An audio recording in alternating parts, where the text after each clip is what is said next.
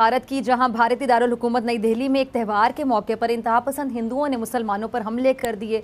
उसके बाद फिर, उसके बाद फिर पुरतशद फसादात फूट पड़े। मुसलमान इलाका मकीनों ने इल्ज़ाम यह आयद किया कि हिंदू इंतहा पसंदों ने न सिर्फ़ उनके इमलाक पर हमला किया, बल्कि एक मस्जिद को भी मिसमार प्रोटेस्ट करते हैं तो पता इसका फ़ायदा क्या होता है?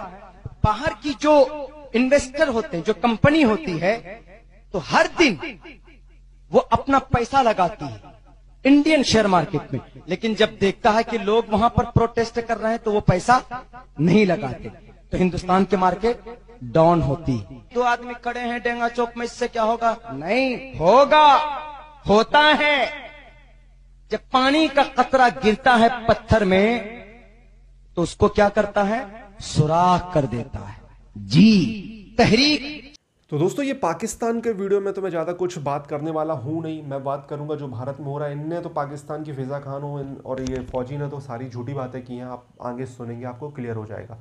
बात करेंगे इस टॉपिक के बारे में कि भारत में शोभा यात्रा में हर मतलब भारत के कई जगह एक साथ पथराव और सब, ये क्या मतलब पहले से प्लान था और ये है क्या?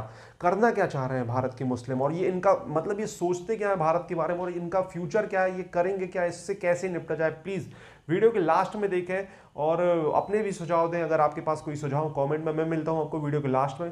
मार करने की कोशिश की। मकामी मुसलमान रहनुमाओं का कहना है कि पुलिस ने दादरसी की बजाय उल्टा मुसलमानों को गिरफ़्तार करना शुरू कर दिया। पाकिस्तान ने भारत की मुख्तलिफ़ रियासतों में इंतहा पसंद, जुनूनी हिंदू इंतहा पसंदों की जानब से मुसलमानों को तशद का निशाना बनाने और टारगेट हमलों की मुहिम की शदीद अल्फाज में मजम्मत भी की है। तर्जुमान दफ्तर खारजा ने मुतालबा किया है कि भारत मुसलमानों पर होने वाले मुजालिम की शफाफ तहकीकत कराए, जबकि दूसरी जानब अमरीकी स्टेट डिपार्टमेंट की रिपोर्ट्स ने भारतीय बरबरीत का पर्दा चाक कर दिया इस रिपोर्ट्स में भारत में होने वाली इंसानी हकूक की संगीन खिलाफ वर्जियों, मावरा अदालत कत्ल, मुसलमानों पर तशद और बुनियादी हकूक गसब होने की निशानदेही की गई है। इस सारी सूरत हाल पे बात करने के लिए मेरे साथ मोजिज मेहमान मौजूद दिफाई तजियाकार, lieutenant general retired Naeem Khalid Lodhi साहब। जनरल साहब, बहुत शुक्रिया वक्त देने के लिए। जनरल साहब, भारत में अब ये हाल हो गया है, हाल हो गया है कि इंतहा पसंद हिंदू बगैर किसी खौफ के, जब दिल चाहता है मुसलमानों पर तशद करना शुरू कर देते हैं उनके इमलाक जला रहे हैं मसाजिद पर हमले हो रहे हैं और मोदी हुकूमत उनकी सरपरस्ती कर रही है कोई तहफ़ नहीं है मुसलमानों को ये बिल्कुल आप ठीक कह रही हैं ये सिर्फ़ अदम तहफ़ मुसलमानों में ही नहीं पाया जाता बल्कि सिखों में क्रिश्चियंस में इवन दालत्स में जो कि खुद हिंदू हैं वो भी अपने आप को महफूज नहीं हम्म। समझते और ये तब से है जब से मोदी की हम्म। हुकूमत आई है कोई नई बात नहीं है अरसद रात से हो रहा है ये जो अभी अमेरिका हम्म। की तरफ़ से रिपोर्ट आई है उसकी भी मेन वजह जो मैं समझता हूँ ये है कि क्योंकि भारत ने थोड़ा सा अमेरी का मुजाहरा किया रूस की तरफ़ अपना तो जो नज़र आई अमेरिका को तो उन्होंने अब जाके ये बात की है वरना पिछले छः आठ साल से ये हो रहा है तो उनके मुँह से कोई बात नहीं निकली तो इसमें एक बात और भी है मेरी बहन वो हम्म। ये है कि ये जो इंतशार है पाकिस्तान के अंदर इससे भी एक कमज़ोरी झलकती है और ज़्यादा हाँ। शेर हो जाते हैं हमारे पड़ोस में लोग मुसलमानों के ख़िलाफ़ हिंदुस्तान के मुसलमानों के लिए भी ये बहुत ज़रूरी है कि पाकिस्तान एक तोाना और मज़बूत मुल्क हो अंदरूनी तौर पर मज़बूत हो और ये सारी चीज़ें ये चीज़ भी हमें सोचने की है।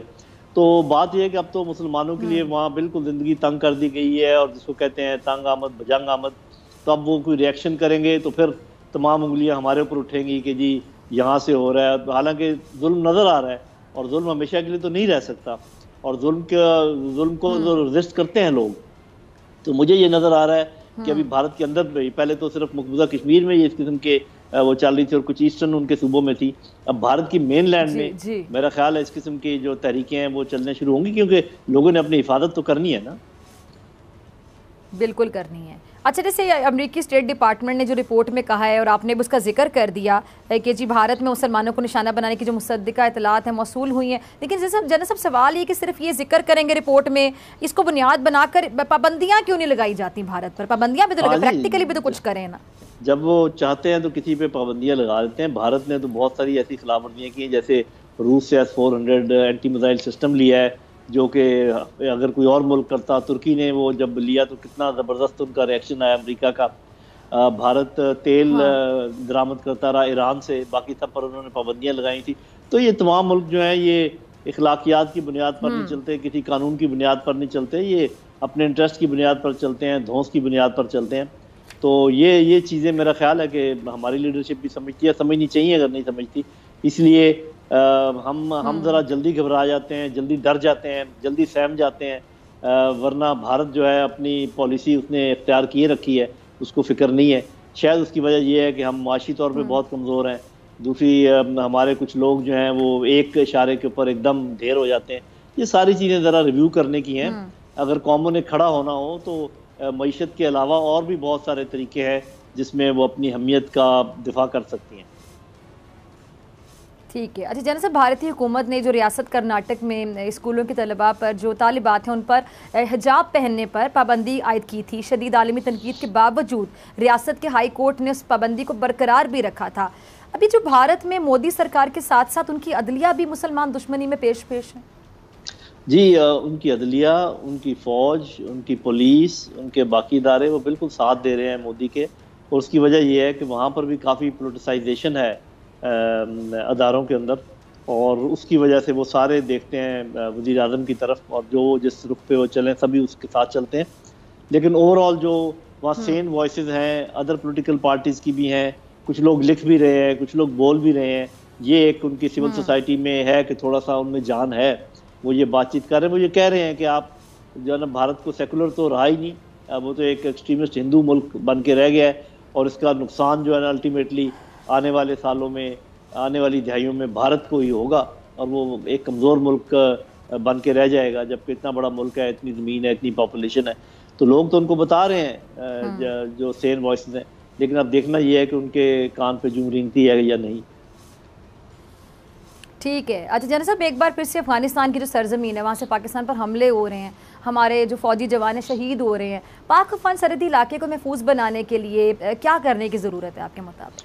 जी देखें सबसे पहली बात तो ये है कि ये जो अफ़गानिस्तान की हुकूमत है उनको इस बात का को समझना चाहिए कि अगर इस दुनिया में एक मुल्क ऐसा है जो उनके साथ हर लिहाज से खड़ा है उनके उनके उनकी हम्म। वकालत करता है पूरी दुनिया में और उनको जो बन पड़े उनको सपोर्ट देता है जिसने उनके तीस लाख महाजरीन को यहाँ पना दे रखी है वो पाकिस्तान है तो पाकिस्तान से ज़्यादा हम्म। मदद करने वाला अफ़गानिस्तान के लिए कोई और मुल्क नहीं है मैं बिल्कुल ये हम सब जानते हैं इस बात को हम्म। एलानिया कह सकता हूँ तो ऐसे मुल्क के साथ कैसा रवैया होना चाहिए ये ज़रा उनके सोचने की बात है जब पाकिस्तान ये शिकायत कर रहा है कि तहरीक तालिबान पाकिस्तान हम्म। जो है हमारी दुश्मन है हमारे पे हमले करते हैं आपके हम्म। इलाके में रहते हैं आप उनका कुछ सद्देबाब करें तो ये मेरा ख्याल पाकिस्तान का हक बनता है कि वो डिमांड करें ये सारी बात और शुरू में ठीक है डिमार्च हुआ हमने भी बुलाकर उनको कहा उन्होंने भी अपना इतराज़ किया लेकिन आज एक अच्छी खबर हम्म। आई है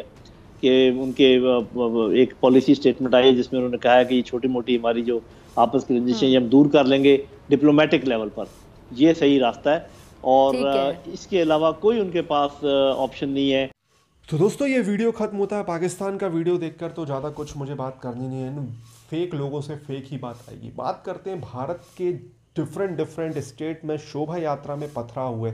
उत्तराखंड, हिमाचल, दिल्ली एमपी राजस्थान, गुजरात, इन स्टेट में पथरा हुए। आप समझ सकते हो। मतलब हर जगह क्या एक ही चीज़ है मतलब आप सोचें कि क्या दिमाग में था मुसलमानों के। अगर मस्जिद के सामने से डीजे निकल रहा है तो वो ना निकले। मतलब डीजे में सॉन्ग बज रहा है मस्जिद के सामने तो वो क्यों बज रहा है? इस तरीके की बातें, इस तरीके की कुछ महिलाओं के वीडियो सामने आ रहे हैं। मुस्लिम महिलाओं की बात कर रहा हूँ। कुछ जगह तो ऐसा है कि वो हुआ और दिल्ली का जैसे आप सीन देख सकते हो, वहाँ पर एक भी वीडियो नहीं है जिसमें मतलब हिंदू ऐसा कुछ तलवार लहरा के वहाँ निकल रहे हैं। वीडियो शेयर किए गए हैं, लेकिन वो पुराने हैं। असदुद्दीन ओवैसी की पार्टी ने भी शेयर किया, वो पुराना वीडियो है। दिल्ली में एक मजार में भगवा झंडा लहराया गया, वो भी पुराना वीडियो है। हाँ ये लहराया गया, वो मजार में लहराया गया होगा, लेकिन वो डेली का करंट का वीडियो नहीं है। पुराना वीडियो होगा। ये क्लियर हो गया है, दिल्ली की पुलिस ने क्लियर कर दिया। तो आप समझ सकते हो, ये पूरी तरह से वेल प्लान्ड तरीका था। अब ऐसा ही कुछ मतलब बहुत सारी स्टेट में हुआ। खरगोन में आप देख सकते हो, खरगोन में तो बिल्कुल कई जगह है, कई लोग गायब हैं। मतलब ये खरगोन सेंट्रल इंडिया एमपी का इलाका है, कश्मीर का इलाका नहीं है, केरला का इलाका नहीं है। तो भैया, ये मुसलमानों को करना क्या है भारत को?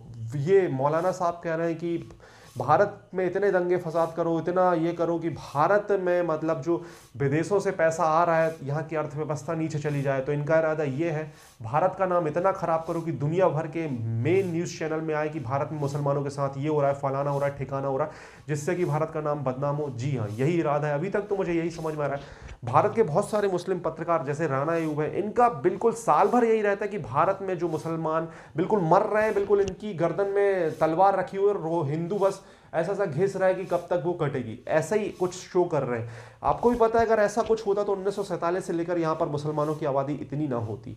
ऐसा कुछ होता तो ऐसा ना होता, लेकिन फिर भी मैं ज़्यादातर भारत के मुसलमानों को, पाकिस्तान के मुसलमानों से भी कट्टर देखता हूँ। जब से सोशल मीडिया में मैंने ज्वाइन किया है सोशल मीडिया में मैंने देखा है कि ये बहुत कट्टर है, ये वही चीज़ें सेलिब्रेट करते हैं। मतलब अब जो पाकिस्तान के सोमनाथ के टेंपल को हमने तोड़ा, ये भारत के मुसलमानों को भी मतलब वही आइडियोलॉजी है सेम है, कोई भी फ़र्क नहीं है सब कुछ सेम है। आप, अगर आपके अंदर सेकुलरिज्म का कीड़ा है, आपको लगता है कि नहीं, ऐसा कुछ नहीं है, वो डीजे क्यों बजा रहे हैं, ये वो फलाना ठिकाना तो आप बहुत बड़े बेवकूफ़ हैं, आपको सोचना पड़ेगा, ऐसा मैं भी सोचता था।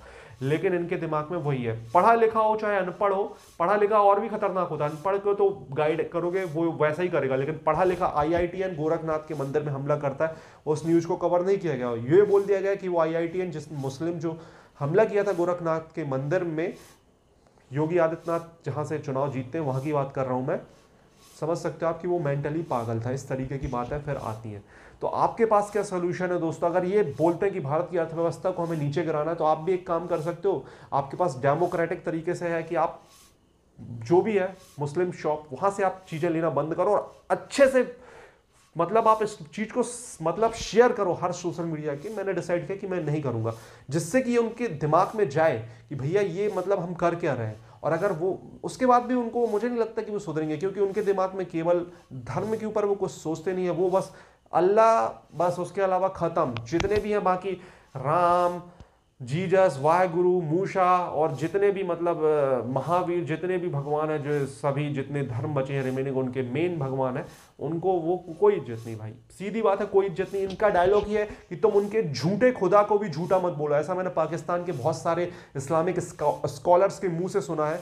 मतलब पहले ही तुमने झूठा बोल दिया, उसके बाद बोलोगे कि झूठा मत बोलो। तो आप समझ सकते हो, इनकी आइडियोलॉजी वही पुरानी है, ये नहीं अपडेट होगी, ये नहीं सुधरेंगे तो आपको ही कुछ अपडेट होना पड़ेगा, आपको ही कुछ करना पड़ेगा।